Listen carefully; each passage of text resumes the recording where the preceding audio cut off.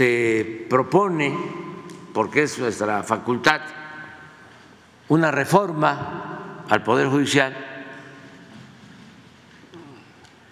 y no se entienda bien por qué genera tanto escándalo.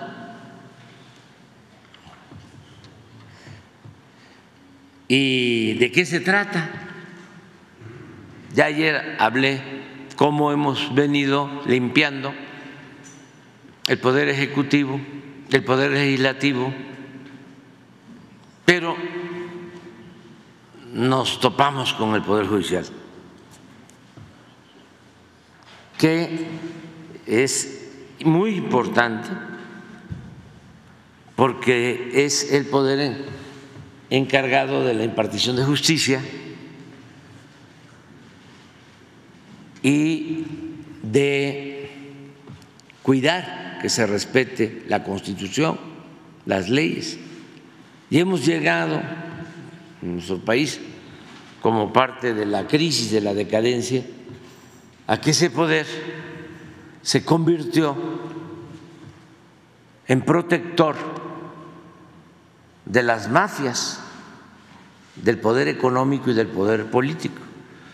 Entonces se limpia el poder ejecutivo de corrupción, se limpia el poder legislativo, pero eh, falta limpiar el Poder Judicial.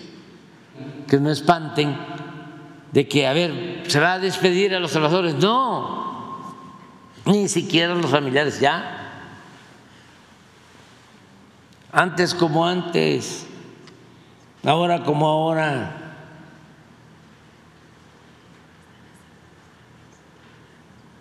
Es arriba. Siempre los privilegios se dan arriba y hay que limpiar de privilegios y de corrupción al gobierno como se barren las escaleras de arriba para abajo. Y es cortar el copete de privilegios. Y se avanza muchísimo como sabemos, ha habido pues mucha manipulación alrededor de esta reforma, muchas mentiras. Una de las principales mentiras o manipulaciones que se ha dicho es que hay un interés por parte del Ejecutivo de controlar el Poder Judicial, en específico la Suprema Corte de Justicia de la Nación, lo cual es totalmente falso. Si ese fuese la intención, Estaría sencillo, no haríamos ninguna reforma. ¿Por qué lo decimos? Vamos a ver cómo hoy en día se eligen a los ministros y a las ministras de la Corte, hoy sin reforma. ¿Qué dice la Constitución? el presidente, en este caso la presidenta electa, tiene la posibilidad de presentarle una terna al Senado de la República. Así se eligen hoy a los ministros y a las ministras. El presidente presenta una terna. Estas tres personas las elige libremente la presidenta, simplemente con que sean abogados, tengan más de 35 años y tengan 10 años de experiencia. No es que tengan que tener una carrera judicial. Con esos tres requisitos, el presidente presenta una terna al Senado de la República. El Senado de la República de esta terna elige a uno por dos terceras partes y también lo puede rechazar. Supongamos que lo rechaza. Si lo rechaza, nuevamente el presidente puede presentar otra terna. Y si es rechazada nuevamente, entonces el presidente o la presidenta designa directamente quién será el próximo ministro o ministra de la Corte. Es decir, el presidente realmente tiene la posibilidad de designar de manera directa y en caso de rechazo o si se tienen las dos terceras partes del Senado, como es el caso, pues entonces se podría conformar una mayoría. Adelante. Aquí podemos ver cómo, en el caso de la presidenta electa, podría designar sin reforma a cuatro ministros el primero es Luis María Aguilar, que eh, se, digamos, concluye su periodo en diciembre de 2024. Ahí la presidenta ya podría designar al primer ministro. Con eso ya tendría cuatro ministros, si suponemos que hoy tres están, digamos, con una visión más progresista, sumando este cuarto ministro, ya se tendría por lo menos la posibilidad de evitar cualquier declaración de inconstitucionalidad de cualquier ley. Pero vamos más allá. En febrero del, 26 sale em, Jorge Mario Pardo Rebolledo, se podría designar a otro ministro. Alfredo Gutiérrez Ortiz Mena sale en noviembre del 27 y Alberto Pérez Dayán sale en noviembre del 27. Esto quiere decir que a mitad del siguiente sexenio, la presidenta tendría ya o podría tener la mayoría de los ministros de la Corte, siete de once. Si la intención fuese esa, pues simplemente no se haría ninguna reforma y se quedarían las cosas como están. Pero no es el caso. La reforma lo que está planteando es que sea la ciudadanía la que participe, el pueblo de México a través de un proceso democrático que pueda acudir a las urnas y pueda votar por quién considera son los mejores perfiles para ser ministros de la Corte, magistrados y jueces eh, en su caso. Adelante. Por el otro lado, sabemos muy bien que la problemática no se concentra solamente en la Suprema Corte. La problemática y los vicios que hemos constatado en el Poder Judicial permean todo el sistema. Está en el caso de los jueces, de los magistrados y también en el caso de los ministros. Y hay varios eh, casos que vamos a presentar el día de hoy. Aquí ponemos tres eh, en el caso de injerencia en asuntos electorales, no podemos perder de vista, por ejemplo, cómo en diciembre de 2023 la ministra Piña convoca a una cena privada, estamos hablando meses antes de la elección presidencial, convoca a una cena privada en casa de un ministro de González Alcántara al dirigente del PRI, Alejandro Moreno, al coordinador, de campaña de la entonces candidata presidencial, Xochil Gálvez, a Santiago Krill, quien conocemos hoy no acudió, pero fue invitado, y a los magistrados electorales de la Sala Superior. Aquí recordar que la Corte no tiene posibilidades de involucrarse en temas electorales, le corresponde exclusivamente al Tribunal Electoral. Bueno, pues tenemos este antecedente que da cuenta de la injerencia en asuntos electorales. Otro caso relevante, recordemos que en julio del 24 un juez de distrito le ordena al Tribunal Electoral que designe a dos magistrados eh, para poder integrar el Tribunal Electoral. Totalmente indebido, nuevamente. Los jueces no tienen competencia en materia electoral, pero aún así este, em, este juez decide ordenarle al tribunal. ¿Qué, sucede? Que el tribunal, por supuesto, rechaza por completo esta decisión y le dice, juez, tú no tienes ninguna competencia. Vale la pena señalar que esta decisión se da unos días antes de calificar la elección presidencial. Y finalmente, un tercer caso muy reciente, apenas en agosto de este año, donde la ministra Piña admite un recurso presentado por el dirigente del PAN, Marco Cortés, para que la Corte pueda interferir, pueda interpretar y definir los criterios de la asignación de plurinominales. Recordamos que hubo todo un ambiente respecto a la supuesta sobrerepresentación nuevamente que le toca al Tribunal Electoral determinar, aquí la ministra Piña decide darle entrada a que sea la Corte la que determine estos criterios. El ministro ponente dijo, no somos competentes, no puedo decidirlo. Adelante.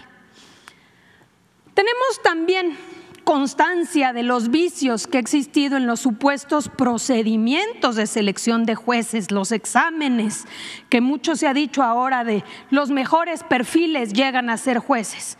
No podemos desconocer en 2019, como muchos otros casos, los escándalos en venta de exámenes que han habido alrededor de estos casos. Aquí podemos este, constatar cómo incluso fueron destituidos eh, los que estuvieron eh, a cargo de la escuela judicial por haber vendido estos exámenes en 186 mil pesos. Pero también se puede acreditar cómo en estos concursos de oposición las impugnaciones son elevadísimas de aquellos que no quedan en los exámenes.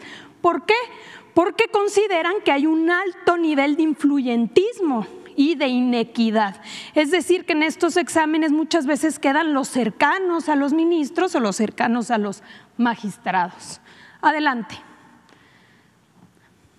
Adelante. También podemos ver el enorme entramado de familiares que participan en el Poder Judicial, el nepotismo. Aquí en diciembre de 2022, el propio Consejo de la Judicatura, son datos del Consejo de la Judicatura, revela lo siguiente. La mitad del personal, el 49%, que equivale más o menos a 24.546 personas, tiene al menos un familiar en el Poder Judicial. El 85.4% de los magistrados y el 67% de los jueces tienen familiares en el Poder Judicial. Los magistrados tienen en promedio 4.7 familiares trabajando en el Poder Judicial. El 23.7% del personal del Poder Judicial tiene más de cuatro familiares trabajando en la institución. La persona que acumula más familiares en el Poder Judicial tiene 26 parientes trabajando en la misma institución, incluyendo un magistrado, 13 secretarios, dos actuarios y 10 oficiales. Esta información se obtiene del registro voluntario que realizan los trabajadores. Es decir, tú tienes que señalar bajo protesta de decir verdad quiénes son tus familiares. Pero hay que considerar, y como se sabe, muchas veces se declara aquellos que tienen tus mismos apellidos, pero no necesariamente aquellos parientes políticos. Es decir, a esto habría que sumar cuñados, nueros, nueras, suegros, yernos y muchos otros familiares que también forman parte de, este, de esta problemática. Adelante. Por el otro lado tenemos un problema adicional. El Consejo de la Judicatura, que debería ser este órgano que se encargue de vigilar el comportamiento de los jueces, de los magistrados, y en todo caso sancionar cuando ubique casos de corrupción, de nepotismo, de cualquier otra violación, pues debería actuar. Pero aquí tenemos eh, los datos de cómo esto no ha sucedido. De 2004 a 2023 se presentaron o se han presentado 38 mil quejas contra funcionarios del Poder Judicial. De estas quejas se han desechado el 86% sin ni siquiera iniciar una investigación. Ya no digamos que concluyeron, no, no, no se investigó en el 86% de los casos. De las quejas que sí se investigaron, el Consejo de la Judicatura apenas sancionó a 472 jueces y magistrados en todo este periodo. ¿Qué quiere decir? Apercibimientos y amonestaciones, 0.7% del total de quejas. Suspensiones, 0.27% del total de quejas. Destituciones, 0.11% inhabilitaciones 0.06% del total de quejas y sanciones económicas 0.04%. Es un órgano que no es eficiente para vigilar el comportamiento de los jueces. Y vamos mucho más allá. En el caso del Ejecutivo, de las dependencias, gobernación y muchas eh, dependencias del Ejecutivo se han presentado en los últimos meses, de enero de 2023 a la fecha, 72 denuncias contra jueces y magistrados, que aquí muchas veces se presentan en, en cero impunidad. Bueno, de estos 72 casos que se han presentado ante el, ante el Consejo de la Judicatura, ninguno a la fecha ha sido resuelto y ninguno a la fecha ha sido sancionado. Adelante. Y finalmente, para darle la palabra a la secretaria Rosicela, el tema de remuneraciones. La Constitución en el artículo 127, fracción segunda, establece con claridad y a la letra lo leemos. Ningún servidor público podrá recibir remuneraciones por el desempeño de su función, empleo, cargo o comisión mayor a la establecida por el presidente de la República en el presupuesto correspondiente. Así de literal lo establece la Constitución. ¿Qué ha venido sucediendo? Que los criterios de la Corte han sido de resistencia a cumplir con este, con este precepto constitucional diciendo a nosotros no nos aplica. ¿Por qué? Primero dicen, porque los ministros designados antes de 2009, que fue la reforma, ya tenían un derecho adquirido. Entonces, como viene la reforma, pues los ministros que estaban antes, esos no les puedes reducir el sueldo. Pero después dicen, ah, pero es que tampoco a los ministros que entraron después de 2009, porque sería discriminatorio, no puede haber diferencias salariales. Entonces, a los anteriores no, pero a los nuevos tampoco.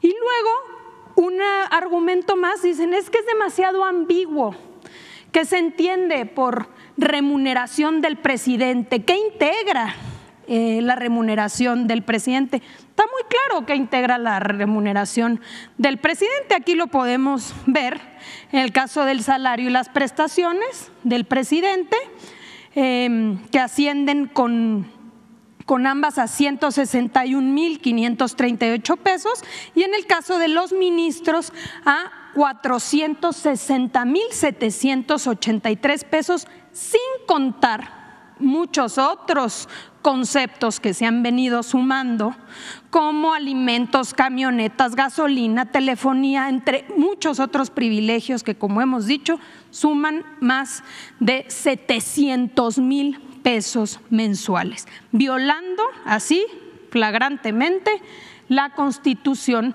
cuando se supone debería ser este órgano que vigilara el cumplimiento de la Constitución. Ahora vamos a escuchar a la secretaria Rosicela todos los casos que dan cuenta del por qué la necesidad de esta reforma. El día de hoy vamos a presentar algunos, solamente algunos, de los casos representativos de la falta de justicia o de impartición de justicia en algunos de estos casos.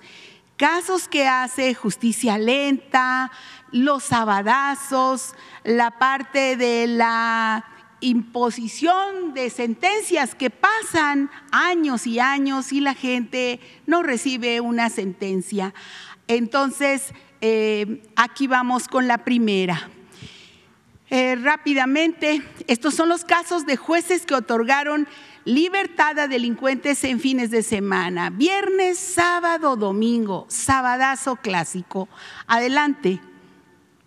Este es el caso de el juez Gregorio Salazar Hernández con sede en Almoloya de Juárez, su juzgado que em, da em, beneficio a Janet Miriam, quien era colaboradora de Genaro, exsecretario de Seguridad Pública, y le da un cambio de medida cautelar que significa la liberación inmediata desde el centro de justicia. Ya ni siquiera van al reclusorio, sino desde el centro de justicia les declaran libertad inmediata y bueno, los delitos peculado y delincuencia organizada.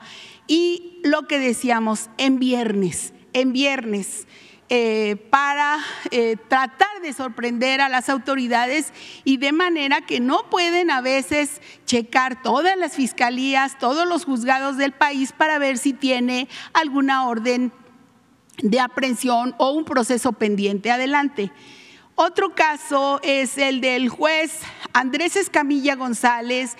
Él está en el estado de Tamaulipas con residencia en Reynosa y la persona beneficiada es Vicente Javier, alias el Cholula o el Puebla, él es eh, parte del em, grupo criminal Cártel Jalisco y los delitos robo con violencia, homicidio calificado, asociación delictuosa, privación ilegal, secuestro y el plazo otorgado para la liberación es inmediato. Entonces, estas decisiones que toma el propio juez en viernes, claro que checamos todo y tenemos que soltarlo pues a veces más de 24 horas después porque hasta que no se revise bien indicamos la parte de lo que sucede en otros estados. Adelante. Otro juez es Adrián Leobardo Ríos González. Él está eh, ubicado en el estado de Nuevo León, con sede en Monterrey, y él beneficia a José Liceo o alias El Charal. Él es parte del grupo delictivo de los Zetas y los delitos homicidio y robo y el plazo otorgado para la liberación en sábado es inmediatamente, inmediatamente. Adelante.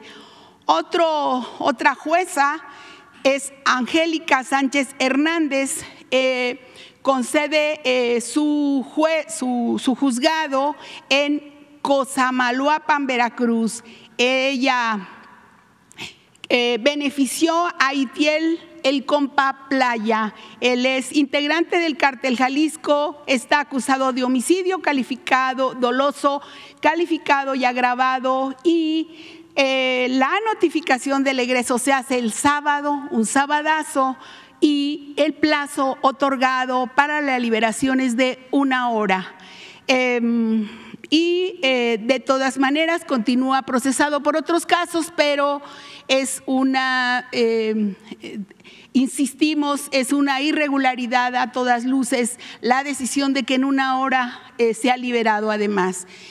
Em, otro juez, Rogelio León Díaz Villarreal, con residencia en Almoloya de Juárez, pues él, este señor juez, le dio la libertad al señor Abraham, alias El Rodo, él es hermano del el líder del cártel Jalisco Nueva Generación. La fecha de notificación de su egreso fue el domingo y le da un plazo a la autoridad para liberarlo de tres horas. Adelante. Otro juez, Daniel Ramírez Peña, él está también su, residencia en el juzgado de eh, eh, Almoloya de Juárez. La persona beneficiada es Angélica, ella es eh, también integrante familiar del cártel de Santa Rosa de Lima, este cártel que opera en Guanajuato, donde hay tanta problemática de violencia. La fecha de su notificación es el viernes y el plazo otorgado es de 12 horas. Fue liberado el sábado. Ella continúa con un proceso, pero pues es otra evidencia más de las eh, anomalías de los jueces. Adelante, también la jueza Perla Fabiola Estrada Ayala con sede en Campeche. ella da beneficios a Pedro Antonio el Manchas, el Cholo, quien pertenece al grupo delictivo de los Zetas y está acusado del delito de delincuencia organizada y de eh, delitos contra la salud. El plazo otorgado para su liberación es 24 horas. Insistimos en las liberaciones de los viernes y los sábados. Adelante. También la jueza benefactora Diana Montserrat Partida Arámbulo. Ella es una jueza sexta de distrito especializada en ejecución de penas de la Ciudad de México y da la libertad a Marcelino el Fantasma, integrante del cártel de Sinaloa y los delitos contra la salud y portación de armas de fuego. Y la libertad la da en viernes y el plazo otorgado para su liberación 24 horas adelante. También el juez eh, José Luis Hernández Hernández, él está en Torreón, su sede está en Torreón y beneficia a Guillermo El Memo, él es integrante de la Fuerza Antiunión Tepito es el hermano de el Tortas, así lo conocen, y los delitos contra la salud y posesión de cartuchos. Su fecha de eh, notificación de egreso del penal es el viernes y le da 24 horas a la autoridad para que sea egresado. Adelante. Esos son eh, algunos casos de jueces. Ahora, ¿Cuáles son algunos delincuentes beneficiados también por el Poder Judicial de los más relevantes? Adelante, pues tenemos el caso de el ex gobernador de Puebla, Mario Marín. Él es acusado por el delito de tortura cometido en agravio de una eh, importante periodista. Entonces, este caso es donde la jueza Angélica del Carmen Ortuño Juárez, por el delito de tortura, le da un cambio de medida cautelar y lo manda a su domicilio particular en Puebla y aparte le pone Guardia Nacional afuera de su domicilio, dispone de elementos para que sea cuidado permanentemente. Entonces, aparte de, que le da una libertad a domicilio de manera anómala, pues tenemos que ocupar elementos de la Guardia Nacional para estarlo cuidando. Adelante. También está el caso del exdirector general de Pemex, Emilio, también quien le hacen un cambio de medida cautelar que no estaba debidamente fundada y le dan brazalete y también eh, la de que no pueda salir de la Ciudad de México, así como la entrega de su pasaporte. Adelante. También está el caso de tres detenidos este año por la Fiscalía de Guanajuato.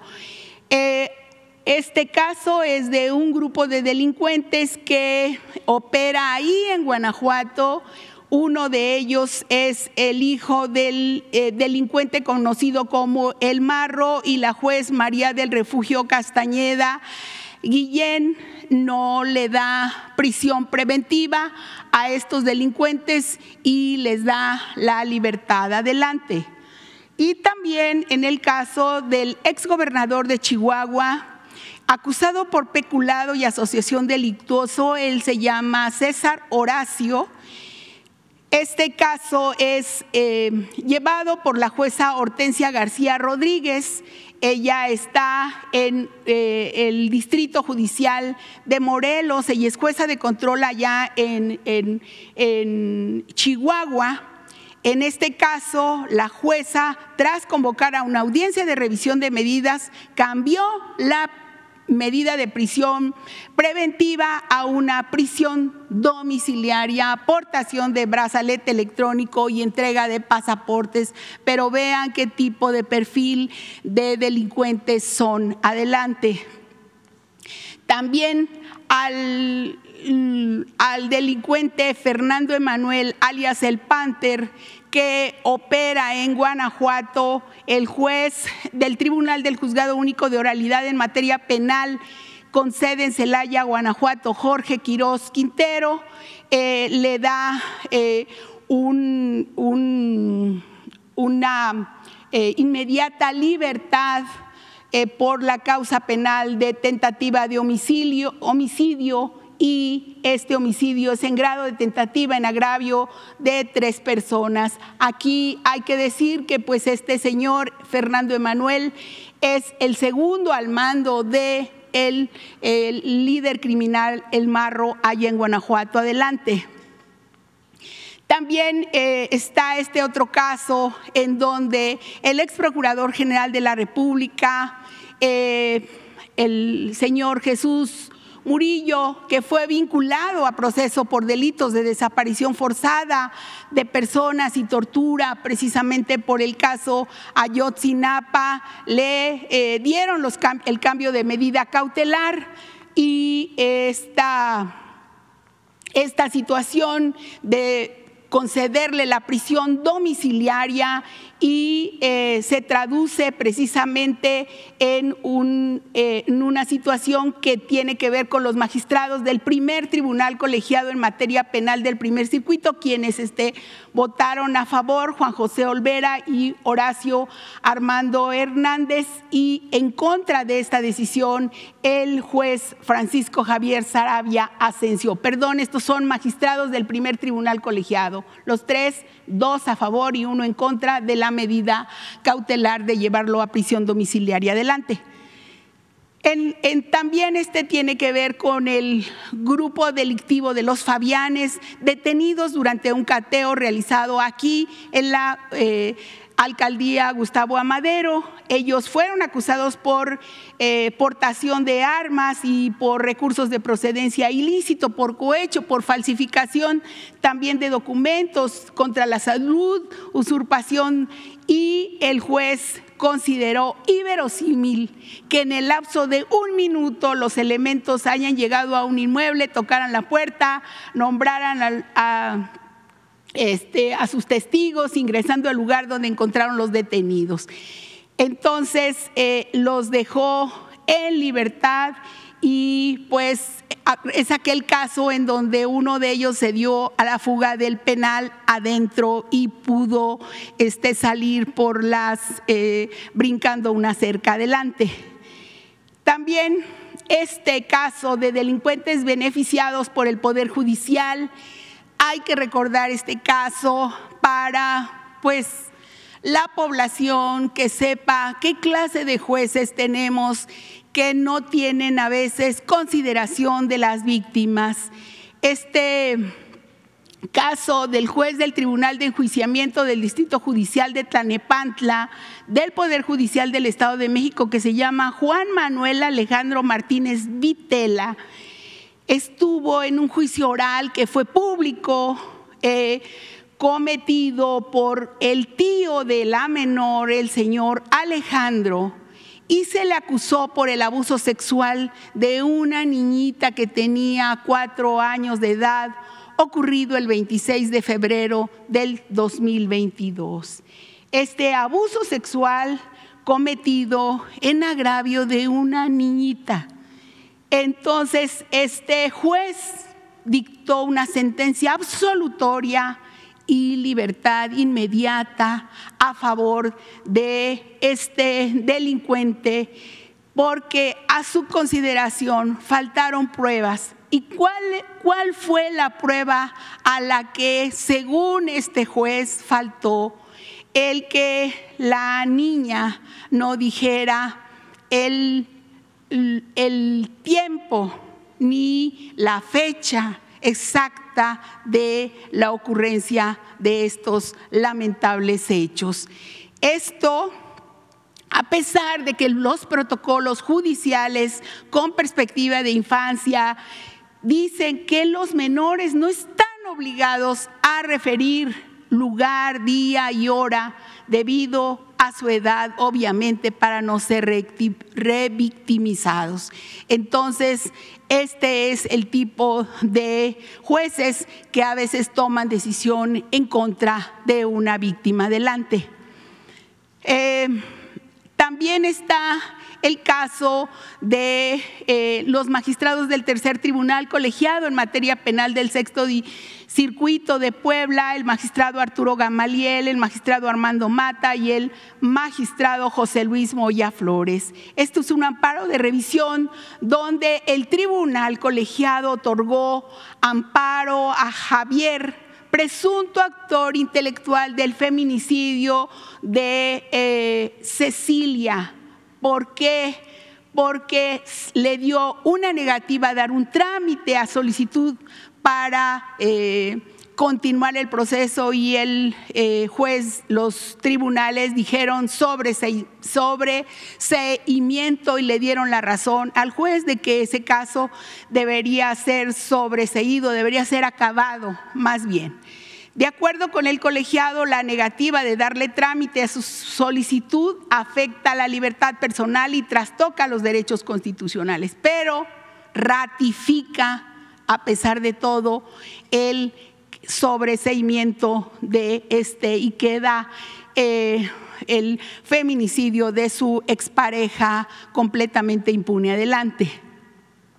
También pues está este otro caso en donde los magistrados del primer tribunal colegiado en materia penal en Jalisco, del tercer circuito, José Clemente Cervantes, Manuel Camo, Nomaines y Tai de Noel, regresaron eh, las propiedades por medio de un amparo a 13 personas en las cuales eh, tenían... Eh, un aseguramiento de la Fiscalía General consistente en diversos bienes, coches y diversos vehículos de lujo y hasta un inmueble, una casa lujosa que tenía estas personas y se las regresaron al cártel Jalisco de manera irregular en este municipio de Zapopan. Adelante, este caso había sido relacionado con un secuestro y los detenidos y las personas, los bienes por la Secretaría de Marina. Adelante rápidamente.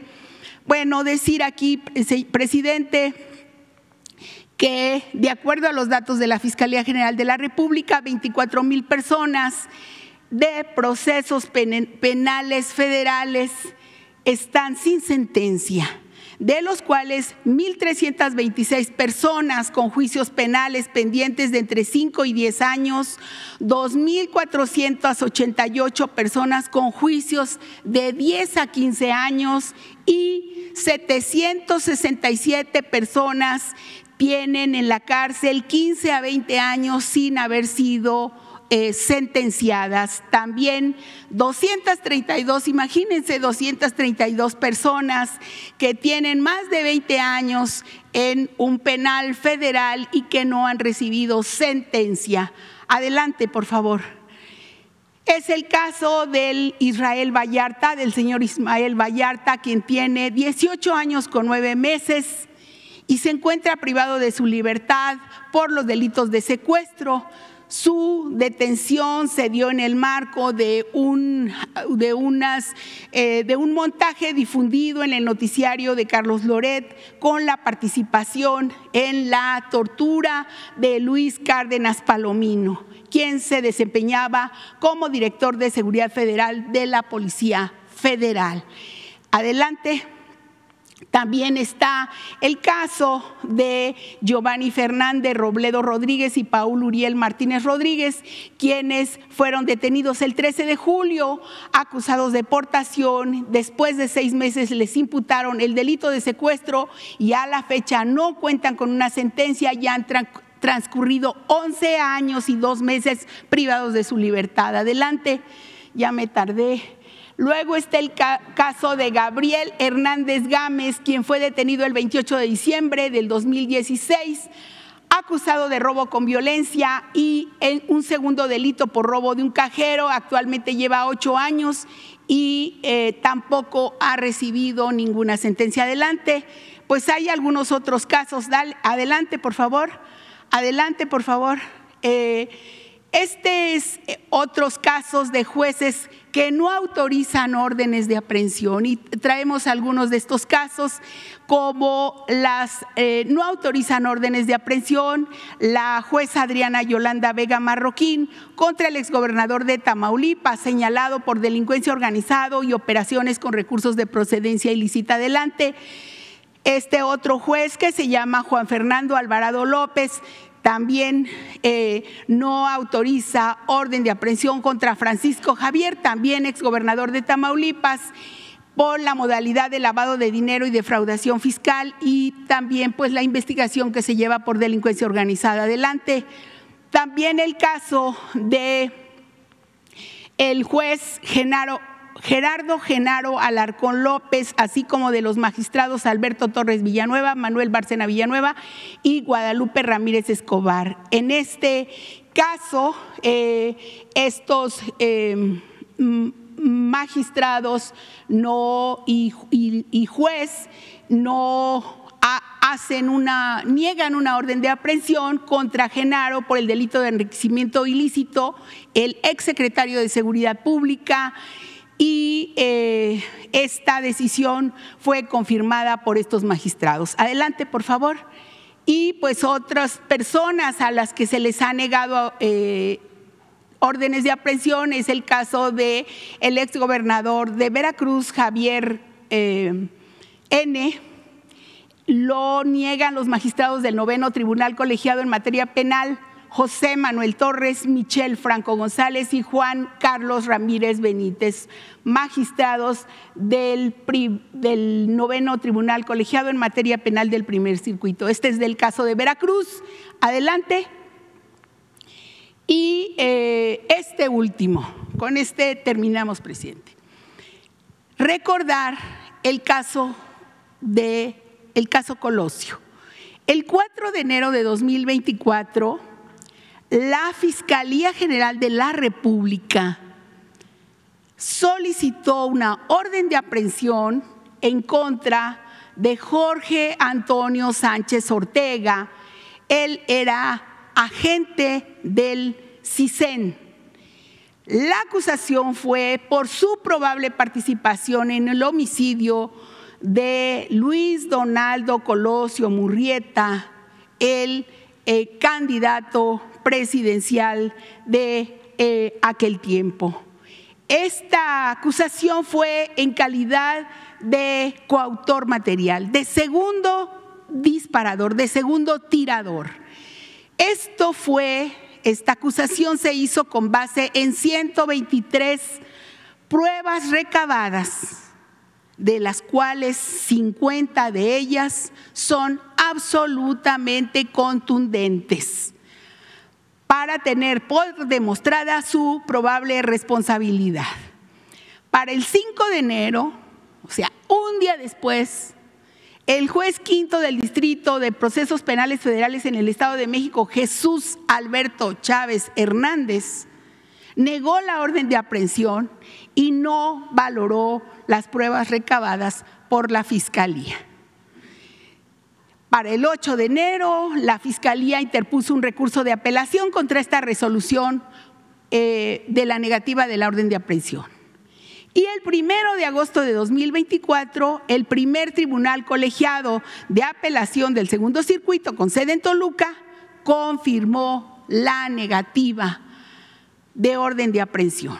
Por ello se destaca que la resolución fue basada en normatividad que no es aplicable para juzgar los hechos ocurridos en 1994. Dos, que no se realizó un estudio integral eh, de las pruebas que presentó el Ministerio Público. Tres, el tribunal negó la solicitud de captura en contra de Sánchez Ortega porque obviamente no estudió ni fueron valoradas las pruebas del recurso de apelación interpuesto por la Fiscalía.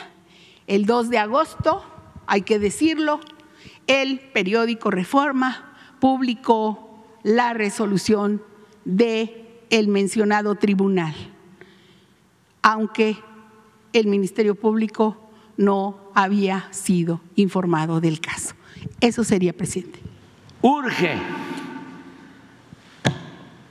la reforma al Poder Judicial. Y sí va a ayudar mucho, porque aquí eh, se habla de delincuentes, de el crimen organizado, pero lo que más les preocupa a los que están en contra de esta reforma es que van a perder sus privilegios porque el poder judicial está al servicio de potentados, al servicio de la delincuencia de cuello blanco. Hay ministros que dependen de los hombres con más poder económico en el país. Están al servicio de las grandes corporaciones económicas, financieras, nacionales y del extranjero. Y esos son los que no quieren que haya Estado de Derecho. Quieren mantener el influyentismo, la corrupción y el Estado de Chueco. Aunque dicen que eh, la reforma no garantiza que, pues, que no haya corrupción. ¿Qué, ¿Qué dice usted a esto?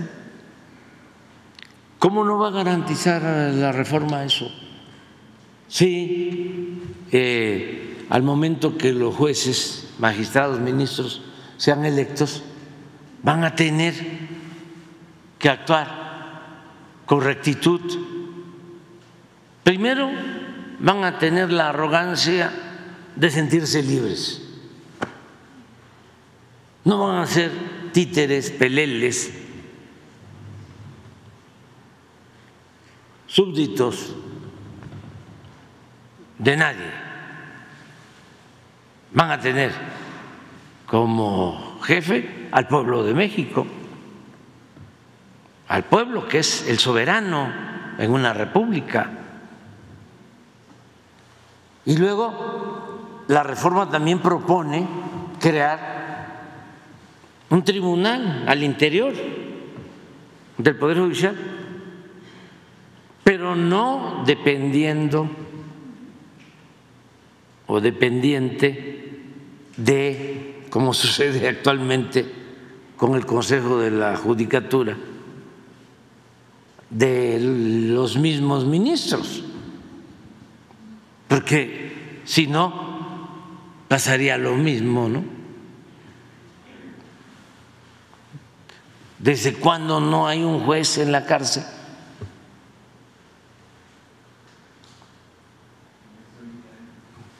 Magistrado,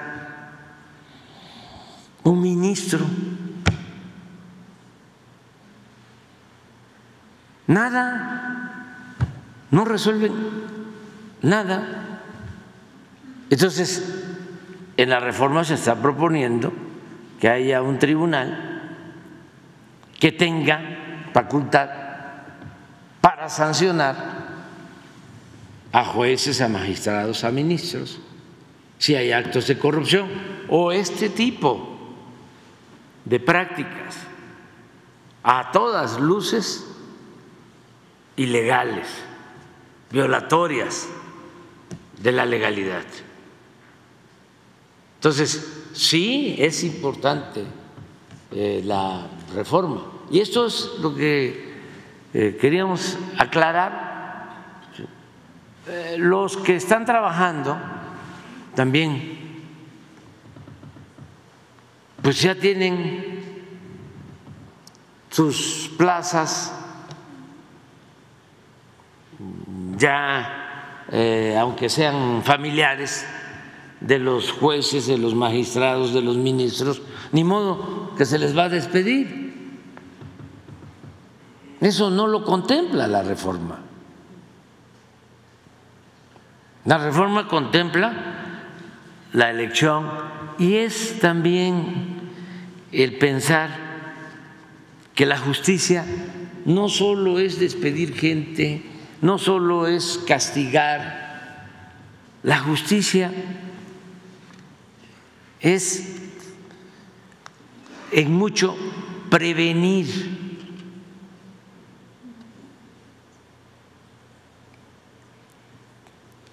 que estas cosas ya no se repitan, que podamos eliminarlas, desterrarlas.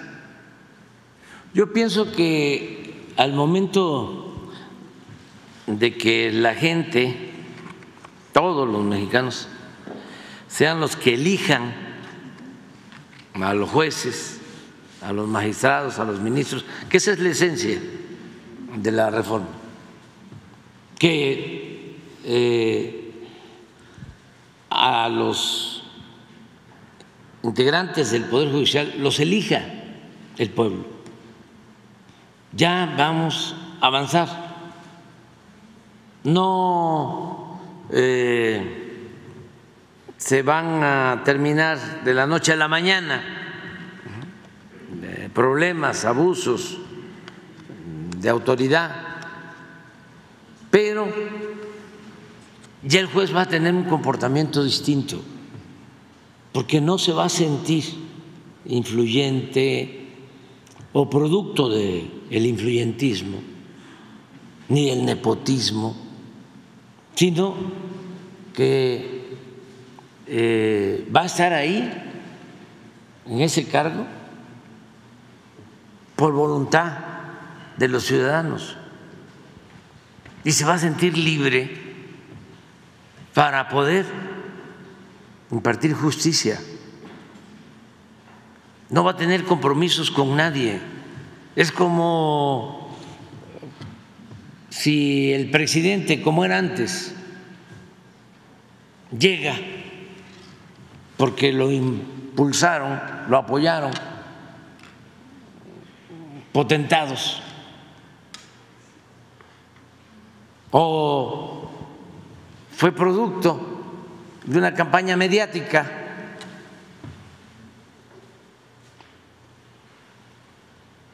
lo impulsó, lo apoyó la oligarquía, porque así era. Yo fui víctima de la oligarquía.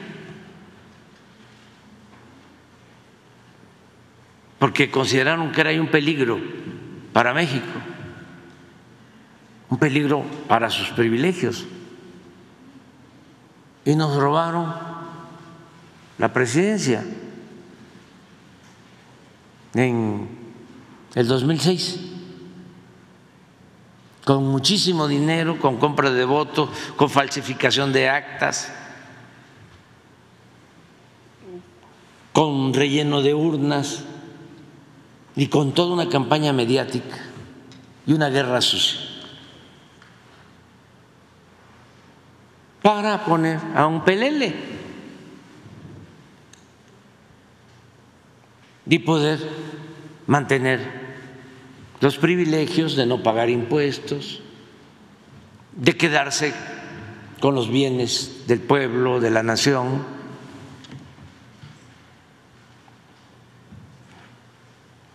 poder seguir humillando, ninguneando a los mexicanos y estar al servicio de una minoría rapaz. Cuando no es así, el que llega a ocupar un cargo